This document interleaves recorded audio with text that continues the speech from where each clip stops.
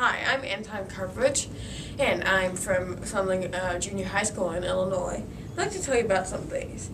You know, if you were to travel to Palatine, really it's just American suburbia. Not much to do, but there is a park, aquatic center, and all, all these sorts of things. Real action in Chicago. They have several excellent quality museums, and like the Field Museum and the Lake Shores, and also historical areas like Oak Park nearby. Green green actually means to be environmentally responsible. Make sure you use your planet's resources in accordance with future generations to me. You know, it really results in those simple things like maybe living in a shack or something like that, or maybe just a, in a smaller house rather than those big McMansions that people build nowadays. Maybe just using and conserving energy and but sometimes, you know, these results result in extravagant American lifestyle and healthcare and all things that we prize and love. If I could trade places with any famous explorer or world leader, probably be Genghis Khan. I mean, he just had superior uh, intelligence and numbers and uh, abilities with hit and run tactics, and he made, managed to conquer all of Asia and Europe before having to turn back and die. You know, what if he conquered Europe? I don't know. Don't give me a free ticket to travel anywhere on this world. What do you mean on this world? Can I go off it?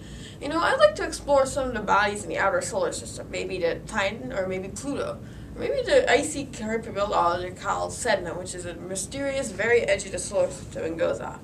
Probably just do some exploration like any good geologist, exploring, learning more about the world, and it's just really interesting in its redness. You know, I don't really know how I smushed this stuff into my brain. It's just so Interesting. Maybe all the stuff that isn't there about 70s movies or fo- football players, or maybe just social interaction is probably used for devotion to art and study of geography. If you put me in charge of the Earth the entire day, first two issues I would tackle is one, one space exploration, and two global warming. Space exploration is really an important part of our daily exist, our continued existence as life forms. You know, as, if we want to stay here and be alive, we better get off this planet. I mean, if we ruin it by global warming, or maybe just an asteroid slams into us, we'll be toast.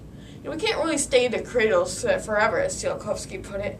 We really need to go out and explore other solar systems and other uh, parts of our solar system and just make sure we have a continued existence over parallelism. And global warming, really, the first problem is people really denying it. I'm not saying that I can't say it, but I'm just saying they're flawed to scientific evidence and rather mistaken. Two, we know that global warming is a real problem. I hope you know that. And of course, we need to be green, as stated before, and reduce our environmental footprint and make sure we have a resource to stay on Earth and, and maybe, uh, maybe a safety blanket to go out on other planets. So it's really important that we you know, take care of our Earth and not just waste it to ruins like and just expire after 100 years like some other civilizations probably. You know, if I, if I know, well, the St. Paul River is it starts in his sources in Guinea, and it on. Well, the St. Paul River and water, water everywhere, of course, would be category. It, start, it starts in Guinea and it marks the Guinea-Liberia border for about several hundred kilometers until it empties in, in the Gulf of Guinea.